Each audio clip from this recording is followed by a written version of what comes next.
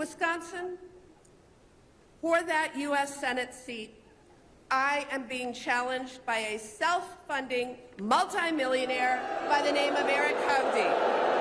Now, let me just tell you a little bit about him. Eric Hovde owns a $3 billion California bank.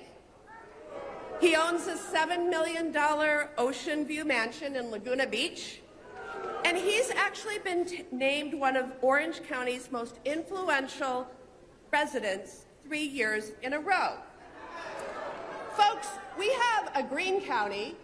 We have a brown county. We do not have an orange county, Wisconsin.